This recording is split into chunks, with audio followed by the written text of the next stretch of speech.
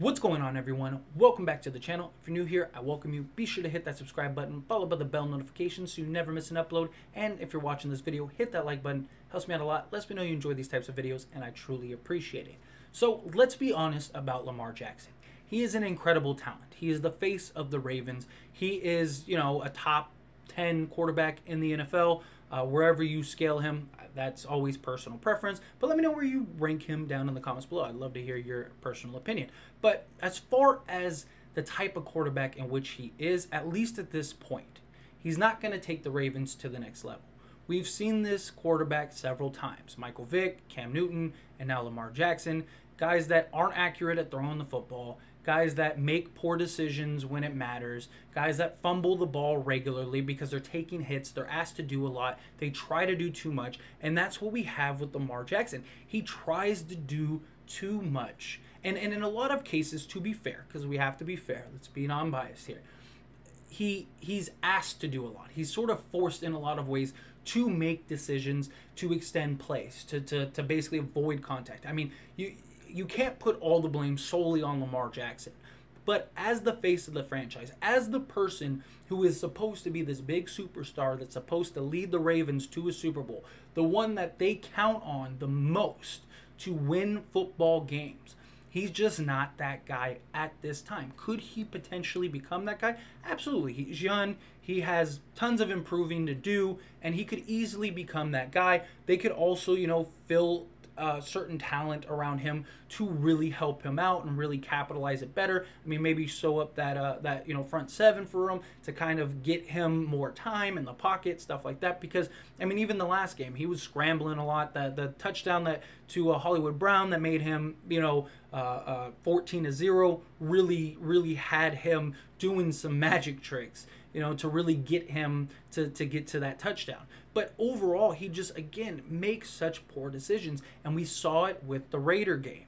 You know, two crucial, crucial fumbles on the Ravens side of the ball that led to two touchdowns, which essentially ruined, cost them the game. Uh, whether you want to admit it or not, yes, the defense should have shut them down with, you know, whatever, 35 seconds left. It was in the game. They should have gotten the stop. They knew that uh, Derek Carr only option was to throw the football. We knew that, but they didn't do the job, and and you know they kicked a 55 yarder and then went in overtime. Okay, we get that, but none of that would have happened if Lamar Jackson would have just held the ball. If he would have just made sure that he didn't fumble the ball, and it comes back to decision making. Throw the ball away. You don't always have to make try to extend a play or try to, you know, get an extra yard or two. You could just throw the ball away. You could just protect the ball. That's the biggest problem. He doesn't protect the ball. Usually when you see him running, he has the ball palmed in one hand and he's running for his life. He's got to protect the ball better. And I'm surprised somebody's not in his ear constantly like, dude, protect the ball. And to further my point, because again, we have to provide facts before we, you know, if we're going to criticize someone, at least that's how I feel. If we're going to be fair, then we have to provide the facts. Well, here are the facts. The facts are that he, besides this game in which he had two turnovers in the last 15 minutes, he has the record for nine straight games with the fumble and has fumbled more than 80% in his total games. He's fumbled like 34 of his 38 starts in the league. The guy is fumble prone. The guy is turnover prone. He constantly doesn't protect the ball. He's a liability. And when you're when you're talking games in which that he it comes down to one play here or two plays there, especially when you're playing elite teams. You know, however you feel about the Raiders, that's up to you. But I'm just talking about in general because we've seen it in the playoffs. He's he's too one dimensional. He's not accurate. He doesn't get the ball where he needs to be. Makes poor decisions making, and he's a liability. He turns the ball over just as much as he's making plays, and you can't have that from your franchise player, let alone your star quarterback that you're that you're need to, to extend your, your season that you want to win games to win super bowls that's what they're playing for they got all these pieces assembled this team did all this stuff to win Super Bowls. Build a team around Lamar Jackson. And and for whatever reason, these these running quarterbacks just aren't what aren't what teams need to get to the next level.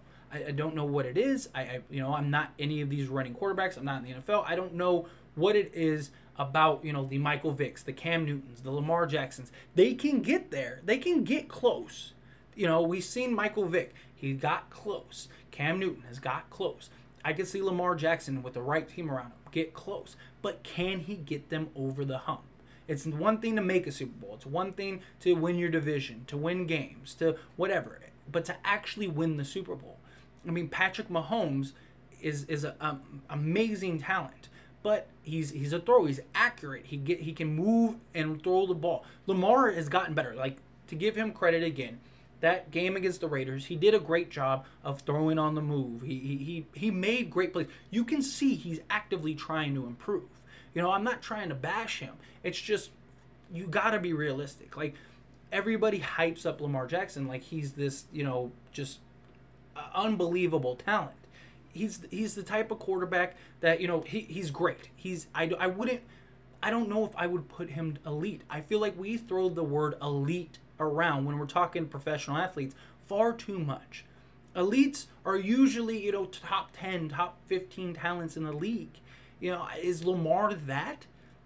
He might not even, you could probably argue that he might not even be, you know, top five, top seven quarterbacks in the league. He might not even be top 10 depending on, you know, how where you where you put the the the line as far as other quarterbacks from other franchises. I mean, he he's a great talent. He's great. He's phenomenal. You know, he, he fills seats. He's box office. He, he's he's superstar in the sense of like what he can do. He can attract. He'll he'll he'll drive ticket sales. He does everything you want from a franchise cornerstone, except for make smart decisions to win games.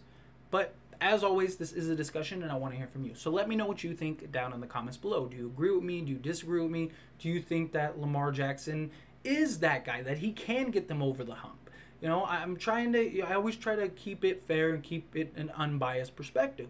But just from what we've seen since he entered the league, yes, he has made advanced improvements. I'm, I, I don't knock him for that. And I expect him to continue to improve. He's a great young talent. I just don't put him up there with the Patrick Mahomes, the Tom Brady's, the you know the the the Russell Wilsons of the world.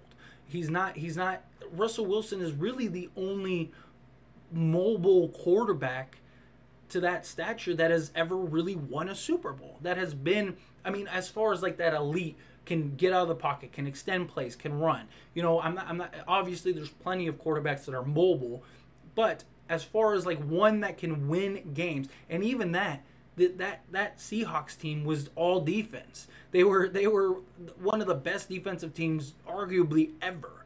And and and to have you know Lamar Jackson and that supposed elite defense that the Ravens had, that was not elite defense. That that could not stop a guy that you know has to throw the ball 50 plus yards in 35 seconds with no timeouts, with no nothing to stop. You know, I'm not solely blaming Lamar Jackson.